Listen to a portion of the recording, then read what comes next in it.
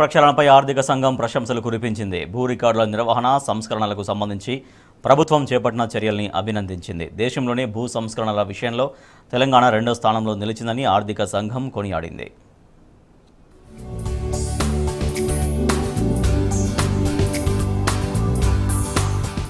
భూ రికార్డుల నిర్వహణ సంస్కరణల్లో తెలంగాణ ఆదర్శంగా నిలిచిందని పదిహేనవ ఆర్థిక సంఘం కొనియాడింది.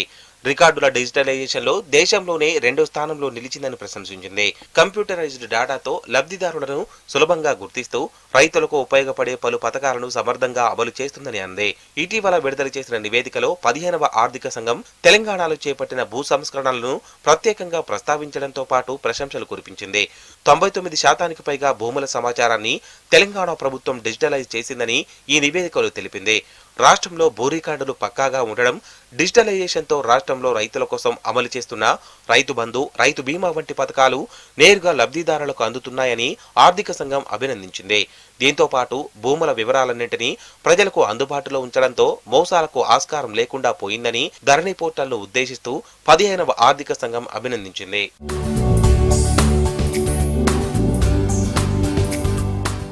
ఇక పదిహేనవ ఆర్థిక సంఘం అభినందనలు. ప్రశంసల వెనుక తెలంగాణ ప్రభుత్వం నాలుగేండ్ల శ్రమ ఉంది.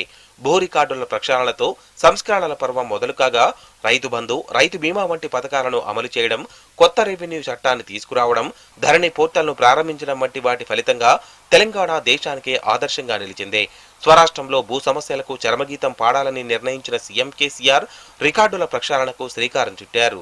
రెండు వేల పదిహేడు సెప్టెంబర్ పదిహేనున మొదలైన భూ రికార్డుల ప్రక్షాళన మూడున్నర నెలల పాటు కొనసాగింది. ఈ మహాక్రతువు ఫలితంగా తొంభై తొమ్మిది శాతానికి పైగా భూముల వివరాలు డిజిటలైజ్ అయ్యాయి. అంతేకాదు రికార్డుల పారదర్శకత అరవై ఐదు శాతం నుంచి తొంభై మూడు శాతానికి పెరిగింది. రాష్ట్రంలోని రైతులందరి వివరాలు బ్యాంకు ఖాతా నెంబర్లు ప్రభుత్వం వద్ద ఉన్నాయి. దీంతో రైతు బంధు నిధులు నేరుగా వారి ఖాతాల్లో జమ అవుతున్నాయి. ఈ యాసంగికి సుమారు యాభై తొమ్మిది లక్షల మంది రైతులకు ఏడు వేల మూడు వందల యాభై ఒక్క కోట్లు పంపిణీ చేశారు.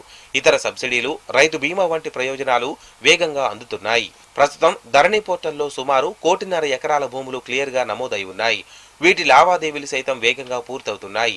అవినీతికి ఆస్కారం లేకుండా పారదర్శకంగా వ్యవసాయ భూముల రిజిస్ట్రేషన్లు ఆ వెంటనే మ్యూటేషన్లు పూర్తవుతున్నాయి. ప్రపంచంలో ఏ మూలన ఉన్నా భూముల వివరాలు తెలుసుకునే సదుపాయం ధరణిలో ఉండడం ప్రతి ఒక్కరిలోనూ భరోసా నింపింది. భూ రికార్డులన్నీ సిటిజన్ పోర్టల్లో ఉండడంతో ప్రతి ఒక్కరూ తమ భూమి వివరాలను ఎప్పటికప్పుడు చెక్ చేసుకుంటున్నారు.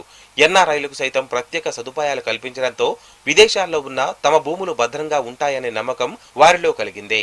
ఇతర భూ సమస్యలను అధికారుల దృష్టికి తెచ్చేందుకు పోర్టల్లో కొత్తగా ఆప్షన్లు జోడిస్తుండటంతో రైతులు హర్షం వ్యక్తం చేస్తున్నారు.